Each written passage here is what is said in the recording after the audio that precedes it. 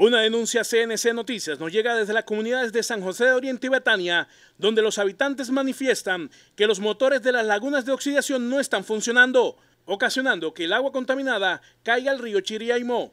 Que vienen de, la, de una de la, de la laguna terminal que dicen, y todas las lagunas conducen, van conduciendo, van crepecitos, acá, aguas negras, San pasan la carretera, ¿sí? y,